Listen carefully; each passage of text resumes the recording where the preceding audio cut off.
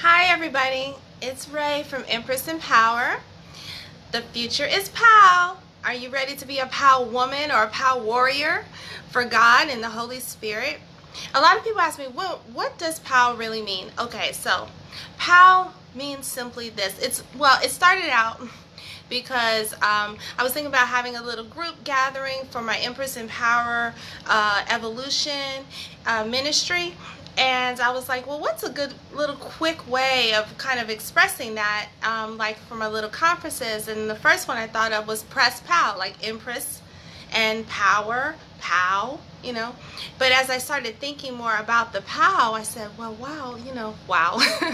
what does that mean? And so as I prayed on it, God gave me the acronym prophetic, overcoming, winning, so that's P-O-W. And then the other W would be for woman if you're a female or warrior if you're a male because God said that this is for both men and women. And then the H stands for in the Holy Spirit. So we are prophetic, overcoming, winning women or warriors in the Holy Spirit. Isn't that amazing? I'm really excited about that and thank you so much for joining me. I'm really, really, truly grateful for that. So today uh, I want to dive into the miraculous you, um, being who God created you to be. And so I'm really excited about this. Um, honestly, let me tell you this, and this is kind of a little snippet of, you know, living a prophetic life. Um, and what kind of sets you apart from just the normal day to day when you truly become aware and understanding of your identity in Christ and you begin walking in operation fully of your spiritual gifts and taking authority in them, then your life begins to uh, change and transform and more of the miraculous in your life becomes evident. You begin to tap into it and see it and flow with it. And that's what it means in scripture when it says we live and we move and we have our being in God. So I was sitting down, I grabbed my Bible and I and I like to I like this Bible because it's the NIV and the message translation. And it's a wonderful wonderful study Bible because you have the NIV right next to the message. And the message can be um, it's more like day-to-day -day language. And then uh, NIV is more um, basically universally accepted as the uh, translation of the Bible next to the King James, of course, um, Holy Bible, which, by the way, little side note, I'm a descendant of, which is kind of interesting, um, through my great-grandmother who was born in Scotland. So, anyway, I picked, I, I put, I grabbed my Bible and I just laid it down and it fell open. And so in my mind, I was already asking God, okay, God, I, um, I know that there's something that you want me to share with the people today. Um, it had been pressing in my spirit actually when I had a conversation with my mom a few minutes ago and we were talking about the gifts of the Holy Spirit and I was sharing with her um, some things. So I grabbed the Bible, I set it down and it just opened up to Ecclesiastes 3 and it's the um, the scripture that talks about there's a time to be born, a time to die, a time to plant, a time to uproot. And it's talking about God's divine timing and how everything under the sun is in alignment to his timing and to his will. And so as I read that, I said, okay, well, how does that correlate with what I, what you had pressed in my spirit from that little conversation I had with my mom today in the car? How does that correlate? And as I read it, I was completely astonished. It aligns perfectly, perfectly with what uh, God was speaking to me. So I'm going to read the part that really jumped out, uh, jumped uh, made my spirit leap, and I, I want to share that with you. So it's Ecclesiastes 3 9 is where it will start. And this is going to be the NIV translation, okay? What does the worker gain from his toil? I have seen the burden God has laid on men. He has made everything beautiful in its time. He has also set eternity in the hearts of men and women, by the way. Okay. Yet they cannot fathom what God has done from the beginning to the end. I know that there is nothing better for men or women than to be happy and do good while they live. That everyone may eat and drink and find satisfaction in all of their toil. This is a gift from God. I know that everything that God does will endure forever. Nothing can be added to it and nothing taken from it. God does it so that man will revere him. Whatever is has already been born.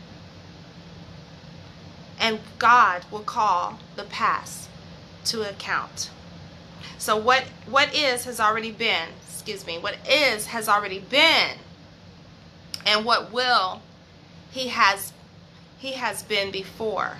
So whatever is has already been and what will be has been before. Whatever is has already been, and what will be has been before. Isn't that amazing? And so I really had an aha moment right there. It was like complete confirmation of what God was has been speaking to me. So as I was sharing with my mom today, okay, everyone and everything has been created by God. Uh, we know this even scientifically because everything that is that has um, that exists on this planet in this universe has a divine order and construction that only someone uh, had to like a master creator had to create it's not possible it's like finding a book and saying oh the book just kind of appeared. No, the book had to have a master designer in order to craft it and form it and create it and fill it. And that is exactly the same way we know, and there's a lot more scientific, you know, ex, uh, explicit, you know, um, explanation to that. But basically, in a nutshell, that is how we know that we, the world, everything was created by God okay? And so I'm gonna have to charge this, hold on. Okay, there, I'm gonna hold it too. I should have charged it a little bit more before I started, sorry. Okay, and so everything was created by God. So because we were created by God, his DNA, his blueprint, um, who he is, is is imprinted, is grafted, is part and particle of the very fiber of our being. And in the word, it does say, whatever is has already been, and what will be has been before. So we live eternally in God. Just like the cells of our body, our skin cells. Did you know they're constantly in evolution? They're constantly cre- uh, creating. They they live, they die, they live, they die, they live, they die, they live, they die, and they're constantly reproducing. Even cancer, unfortunately, even cancer is a mass, you know, just fast mass overgrowth of cells that just have gone havoc. They're just like mass reproducing out of order, out of alignment. And so so we are the children of God. We are his cell, his DNA, his everything that he is, his the fiber of who he is, his essence, his spirit is in us. And yes, it is also in every living thing. Okay. But we have been given dominion under God over every living thing. So every living thing bows to the Spirit of God in us. We don't bow to the Spirit of God in them. Aha. So that inherently right there, the foundation of witchcraft and everything crumbles. Also, Um, whether you like it or not, you're a child of God. Whether you like it or not, the power of the Holy Spirit is in you. It may be dormant, it may be unrealized, you may be not awakened, but it's there. We have people searching and seeking answers to understand more fully the power of the Holy Spirit that they were born with. Um, that intuition, that kind of just like knowing, uh oh, that gut instinct. Okay, our spidey senses tingling. It's like you're a demigod, you know, like you're Hercules or you know, in Moana, you know, you, you know, thank you, you know, you are created as the son, the daughter of God. But if you do not understand your true identity in alignment with God, then that spirit that's within you, either you will become opposed to it, which cre- creates disease, depression, mental disorders, and all kinds of um, suffering and pain and misery. Also, uh, unfulfilled promises, uh, unfulfilled uh, dreams, poverty. When when you're when you, and that's when you're opposed to it because you don't understand it.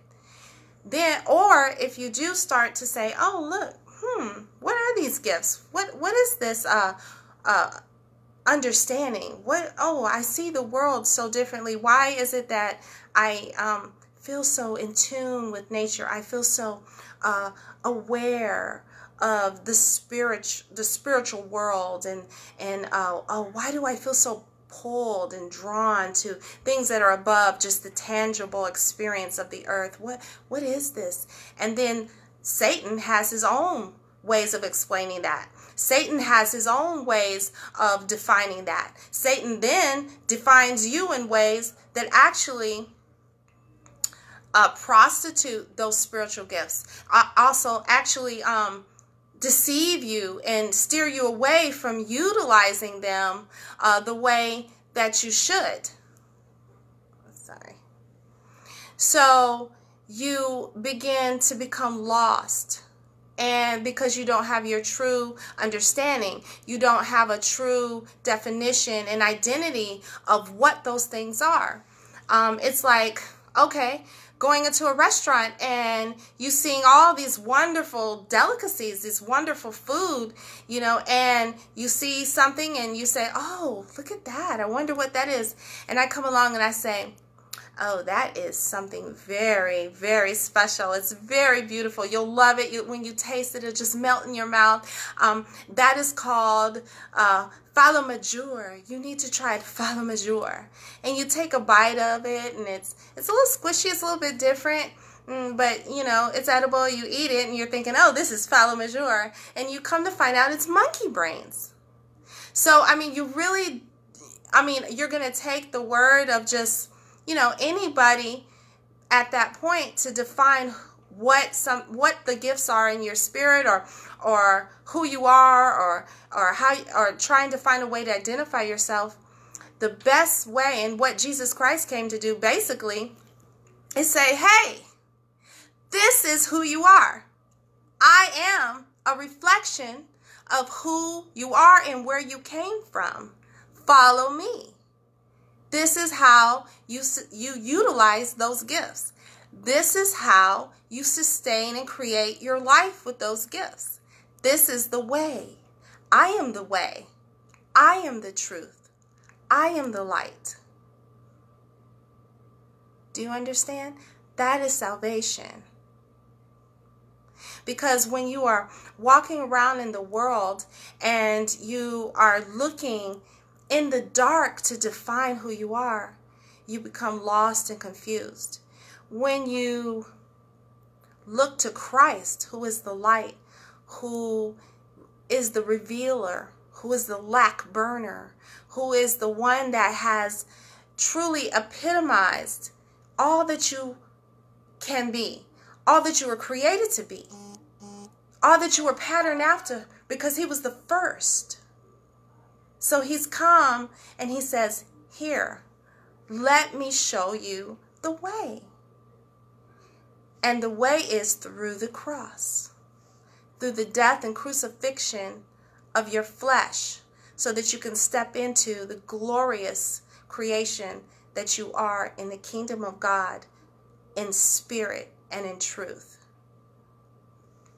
So as I was um, reading this, I was like, oh, okay. So that kind of, to me, it confirms it.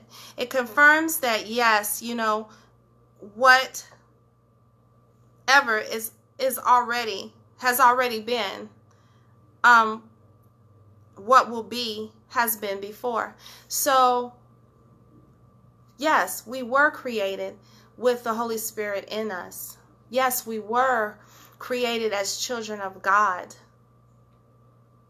yes these gifts are there and if we take them and we utilize we have prophetic gifts and we use them to be a psychic medium or we use them to be um, a witch or uh, do craft spells or anything like that, we can lend our spirit to those things and they can manifest because we are children of God. But the manifestation of it will be a violation of the law of who we truly are. And when we violate the law of who we truly are, we get out of position of what God wants us to be. And we get out of position of our destiny and our future. And then we cannot completely fulfill the plan of creation that exists within us. I literally can see us like like I see a a singular person and within them is like the entire earth the entire creation the blueprint of the uh, of the world living within us living within our being i know there's been times when i have um, in prayer and worship um, just praying for someone or praying for the nation or my community or the world, and I will see with the mind of God.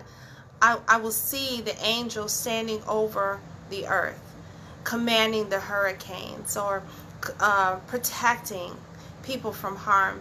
I will see them ignite a fire, anointing of the Holy Spirit in someone. I will see the power of God manifest, the Holy Spirit blow into the room. I will see Jesus Christ himself walk into the room and the and, and, and just the power that exudes from him bows me to the ground where I can't even stand up straight in his presence. God is so real. Jesus is so real. And the Spirit of God lives in us, which is just, I'm sorry about that, is so amazing. But the Spirit of God is in us, and it's in us whether we accept it or not. Jesus came to, to, to wake us up and say, hey, this is in you, and this is what it's for. This is what you're to do with it. This is how you can be successful with it. This is how you can help others be successful with it. This is how you find your purpose. This is how you can identify and understand yourself. This is how you can protect yourself. So Jesus Christ came to save us because we were out there with these gifts of the Spirit and we were creating all kinds of false religions with it, all kinds of pagan idol worship with it, all kinds of witchcraft chasing after money and adultery and creating empires that would fall to the ground and fall upon their own sword like Saul and destroy themselves. And so God said, Enough is enough. Son, come. You were the first. Show them. Show them the way. You were my first. You were my best. Show them the way to know that they were made a blueprint from you. Let them see how they were truly created to be. Show them what love really is, is sacrificing for others. So I, I just wanted to take a moment and just share. I'm not going to spend a long length of time, but I just wanted to share a little bit to with you that, you know, whether you say, I accept you, Lord Jesus, into my heart as my Lord and Savior or not, the power of the Holy Spirit still is there within you. Um, and that is why a lot of people can do like all this new agey stuff um, because they are manipulating the spirit of God within themselves that they were created a fabric of. They were created DNA, you know, from from God's DNA. Yes, it's there. Yes, you know, you you are awakened. Yes, you do have these spiritual gifts, but you're not protected. So demonic spirits are real. Um, some of the demonic spirits that have been that that exist in the world are created from our own turmoil, pain, suffering, trauma that we have taken that energy and projected out into the world and it has manifested as as like almost like entities that latch on to other people. The best way I can explain that. And then there are real demonic spirits that were fallen angels that fell when Satan fell, as it says in the book of Revelations, you know, and that have assignments to mislead others um, from knowing their true purpose and identity because of their spiritual jealousy. One of the biggest ways they do that is they get in the church and they create division in church in the Christian church with jealousy of others' gifts. That's the biggest strategy they have of just dividing. Because what what does Satan do? Obviously, he came to earth because he was jealous of the of humanity. I was talking to someone the other day and I had this epiphany that when the serpent, you know, the great dragon, the serpent, Satan, fell from the sky and with his tail knocked uh, some of the stars, which is uh, allegory for angels, the fallen angels, knocked them to the earth with him some of those angels, they began teaching humanity spiritual secrets. But they were gifted with these spiritual secret secrets before they were qualified in their walk with God to fully understand first their own identity, their own purpose, and understand how to protect in themselves and utilize the gifts and who and, and the power of God within them so they were given this stuff like um, illegitimately. And that is why all these false religions and things were formed. That was the fruit that they ate in the Garden of Eden. And that caused them to be shut out of uh, away from the tree of eternal life, which was fellowship with Christ Jesus. Because he is that, he was that tree. He is that tree, eternal life. Christ Jesus, the Holy Spirit. And so they were shut out of that. But the Holy Spirit, because the Holy Spirit is, is the breath of God that gave them life, it's still part of them and in them. They cultivated all kinds of alchemy and magic and different things that took them away from their true identity in God because they didn't understand it fully, but they were given, it's like giving a child, uh, sitting a sitting a person in an airplane in the cockpit of an airplane telling them to fly the plane. And they never had a lesson. So having these spiritual gifts but not having information and understanding from the word of god and and understanding by example through christ jesus and having a relationship with him because i'm gonna tell you something. The bible is just the tip of the iceberg God, through the Holy Spirit, gives you even greater wisdom. I have been reading my Bible since I was, goodness, eight or nine years old, reading and studying it fervently. I love the Word.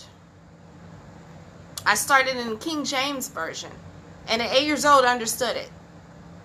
So just reading the Word and fellowshipping and going to church and talking to people and spending time with God.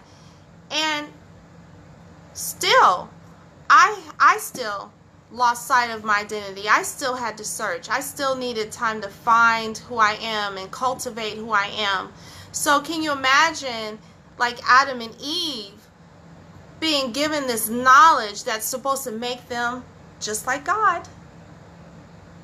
And then just taking that and, and creating a, a generation of corruption.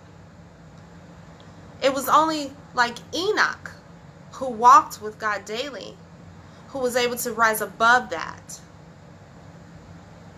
So, I just, if right now, if you stumble across this video and you are searching for answers to supernatural gifts and understanding of spirit and your identity and you've gotten into auras and uh, new age spiritism tarot cards psychic mediums um, you call yourself an indigo you think you might be a star seed you think you might be an empath you think you might be a healer you think you might be a psychic. Honey all of all of those gifts come from the holy spirit and Jesus Christ, He came to give you the answers to show you what to do with those gifts, to show you who you are, and how to live a sustained and blessed and miraculous life. That is the best way. The other way will be unsustainable. Uh, witches, they have to craft spells and they have to keep crafting spells and they have to keep buying more material and they have to keep buying herbs and they have to keep buying candles and all that stuff is just a waste of time. It's a lie. It's false. It's, it, it's flimsy. What really, truly will give you a sustained and happy life is following the pattern that Christ has laid out for you and cultivating a relationship with God through his son and through the power of the Holy Spirit and truly tapping into the anointing that that is within you that special gift and God gives everyone everyone has the ability to have all nine gifts of the Holy Spirit. But for some, uh, certain gifts present themselves to you stronger initially than other gifts. And that's where people start all the labels and things like that. I'm going to take it off the charger and set it down for a minute. There. Okay.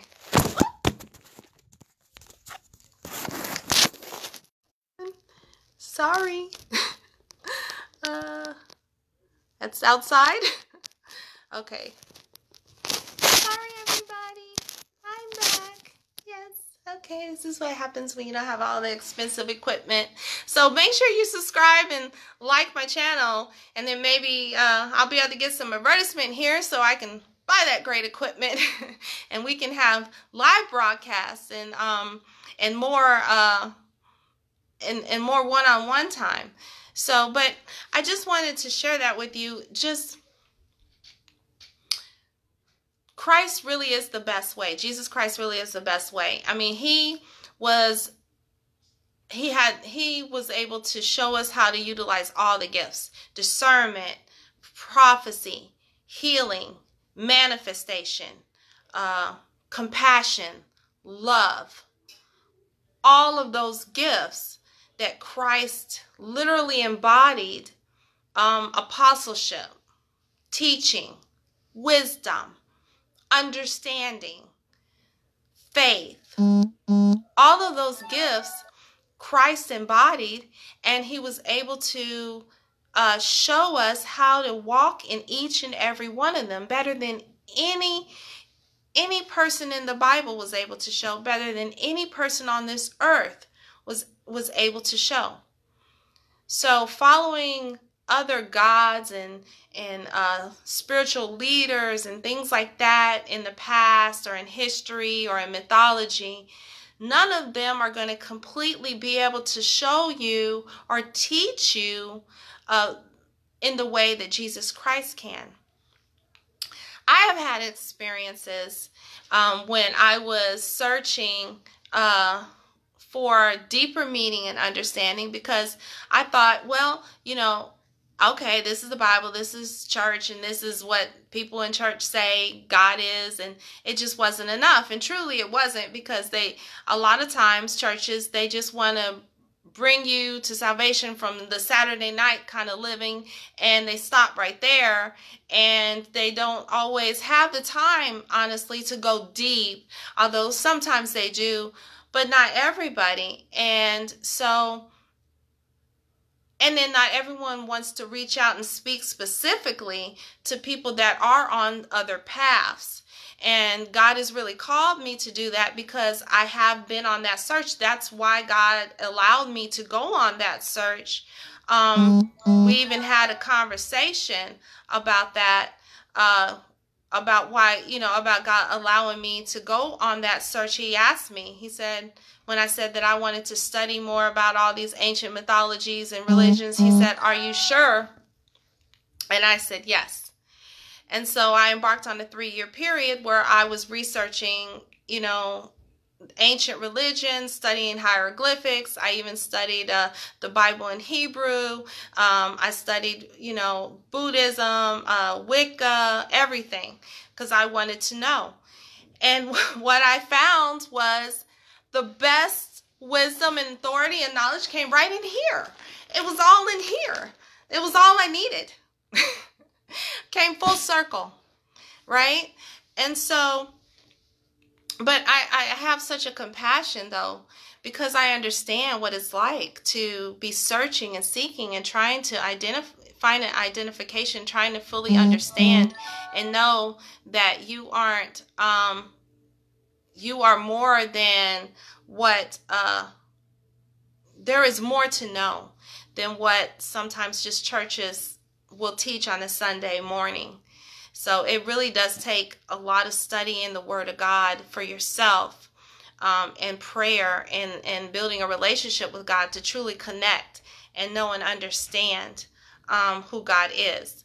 So when you are able to fully and no, you can never fully, fully know, but you can get close.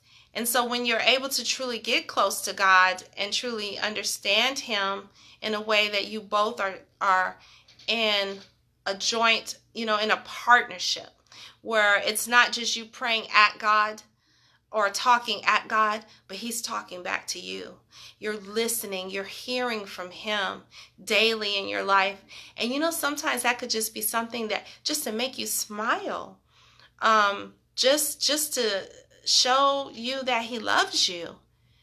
Yeah, He does that. It's not just um uh it's not condemnation and guilt. You know, God really loves you. I had an experience. I'm going to share this one experience I had with you.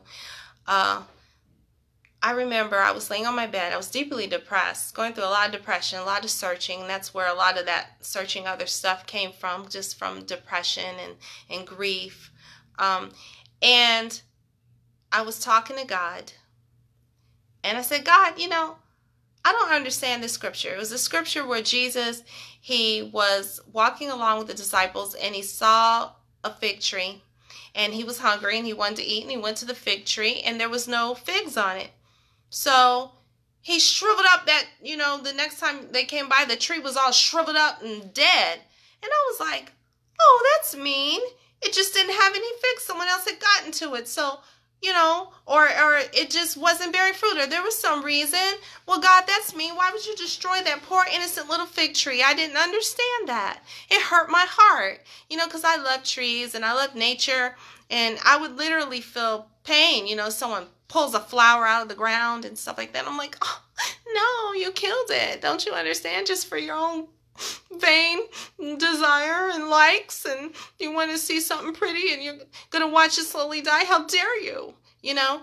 And so yeah that's just the way i am. I love nature. And um so i just didn't understand that and i remember i was laying there and something very miraculous happened um as i laid there and i talked to god. Suddenly it was like a light as bright as the sun hovered over my entire being. And I levitated. I levitated from the bed. At least it felt like that. I don't know if I, I, I still, when I look back, it seems like I really did lift up off the bed and my ears popped.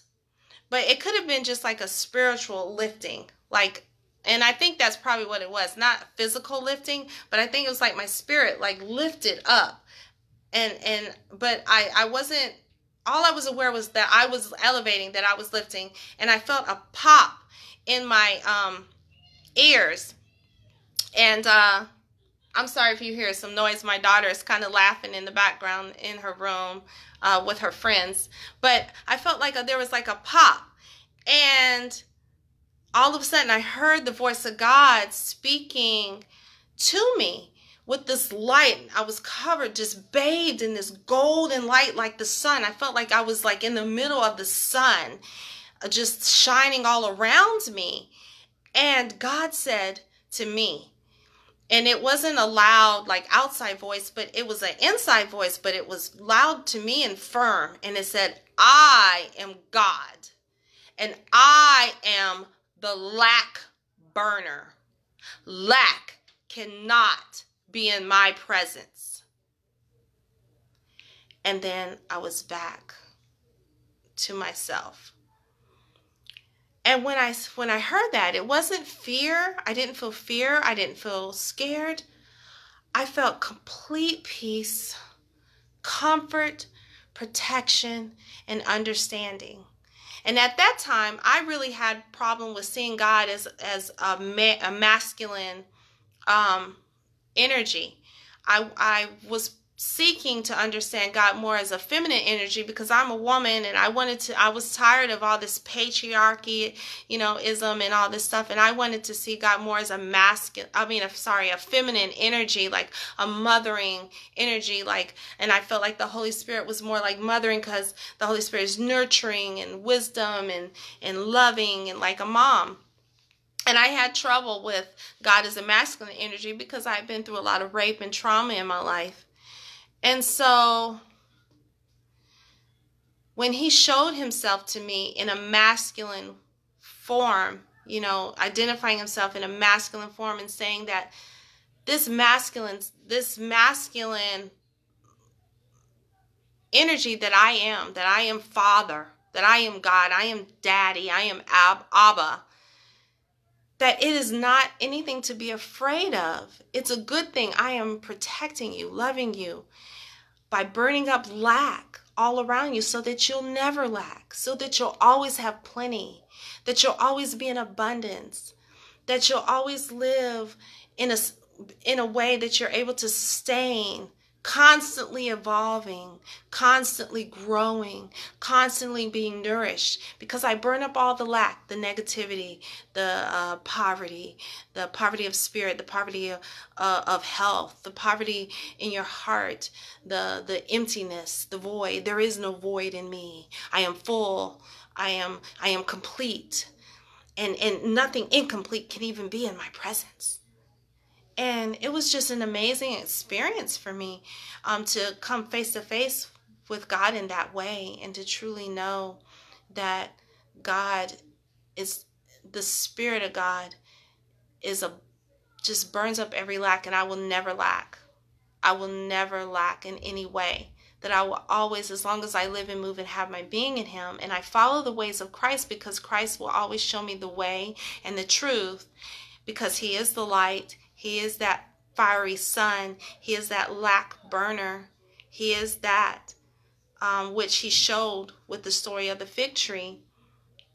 He is that in our life, and he'll always be there protecting me and loving me, cherishing me, cherishing me, cherishing you, and showing you what to do with your spiritual gifts, showing you how to use them to help yourself and others and fulfill the purpose that He created you to fulfill upon this earth a purpose of peace, of love, of unity, and of joy and prosperity.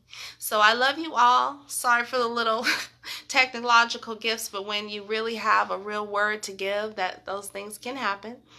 But we made it through together. So I want y'all to have a beautiful, Godful day. I also want you to think about, for some reason, the peacock behind me is just really speaking to me prophetically. And so I just want to take a moment really quickly, prophetically, and say something to you all who are watching. Yes, you are different. Yes, you are unique. Yes, sometimes you stand out from the crowd. You don't need to be ashamed of that difference. You don't need to bow your head down. You don't have to dirty your beautiful, colorful tail. You don't have to um, hide your opulence. Stretch out your feathers. Let them be seen, for they represent the, the beautiful uniqueness, the imprint that God has placed upon you that makes you unique, that makes you special. I love you all so much. You have a blessed and God-filled day. Bye-bye. Oh, and like and subscribe, please.